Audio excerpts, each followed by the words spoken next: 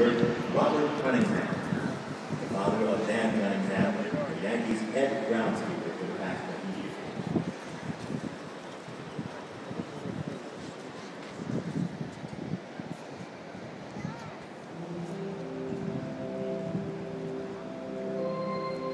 Now, William,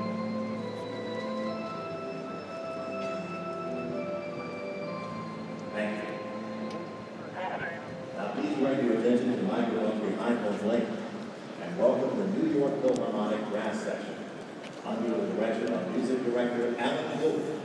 They will now perform our national Ooh, anthem. Ellen's on the big screen. I know.